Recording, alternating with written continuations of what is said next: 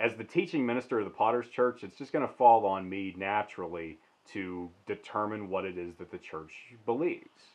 And so I'm going to be preaching from week to week, obviously, and so what it is that I believe is going to come through those sermons. And then, of course, there's this there's Quest Forums. This website is, a record of the things that I believe. And so anyone can listen to the sermons or, or, they can come to this website. They're going to know where I stand, and then as a result, they're going to know where the church stands.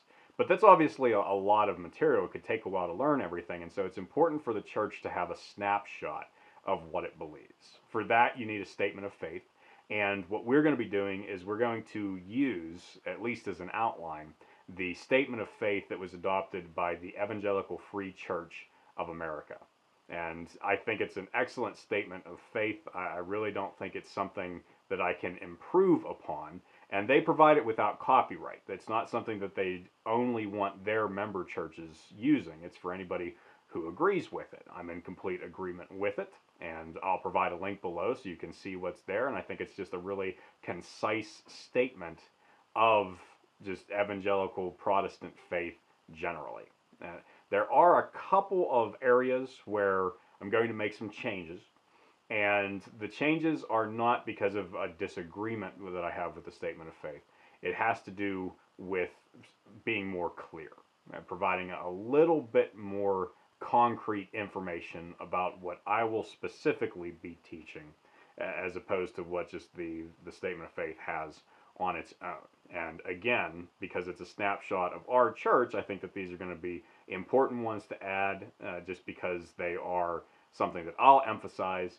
And there's plenty of other things in there that I will, but they're already included. I just want to make these ones absolutely uh, clear to people. Uh, the first one is just the nature of salvation. Uh, and I want to just really say that it does not depend upon us. And the statement of faith already says that, but I just want to add a little bit more to it to say that it's not about us earning salvation or maintaining it. Yeah, that's not up to us. The work was done by Christ. And we are supposed to live in sanctification. Yeah, that means we're supposed to be growing in our faith and living it out so that we reflect Christ more and more. But we do falter. And when we do, that does not mean that we lose access to God and that we lose access to eternal life. That's secured to us entirely by Christ. And when we have faith in Him, it becomes ours. It's, it's not about anything else. And so I just want to make that uh, front and center. Uh, the other thing that I will want to add in there will have to do with spiritual gifts because I am, as I've discussed elsewhere, a cessationist or at least a practical cessationist.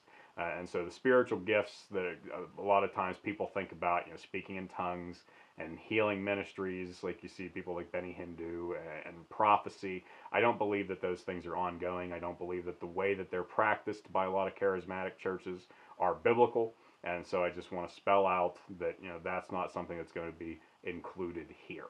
And so those will just be some simple ways for people to say, all right, this is what this church believes. And if I have no interest in it, then that means that I know that I'm not going to get it there. But if I want to hear that side of things, then I'll be able to go and find out what they mean over time. Because again, that's the point. It's just a way for people to get a general picture of who we are and then move from there into hopefully becoming part of the church's community. Now, one other thing that I'm not sure if I would put in the statement of faith or not, and maybe I will, maybe it's even worked into what I was talking about with salvation, but it's even more general. It's more like the, uh, what would you even call it? Maybe the mission statement of the church as opposed to the statement of faith, and just that idea of where the name comes from in the first place. Uh, the, the Potter's Church is about molding hearts and shaping minds for Christ. That we recognize that we are like clay jars and we have imperfections, uh, we have uh, cracks.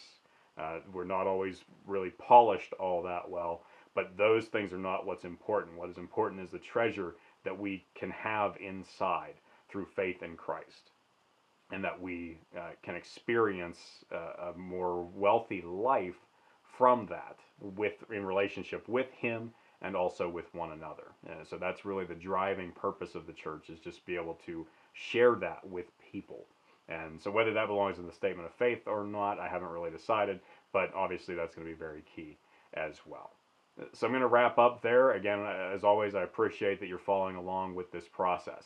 If you have questions about the church, if you have anything you want to share, you can put that down in the comments. If you would want to get involved in any way, you can reach out to me as if you want to do that privately. The, the Facebook page is in the description, or, or my email address is. You can get in touch with me there.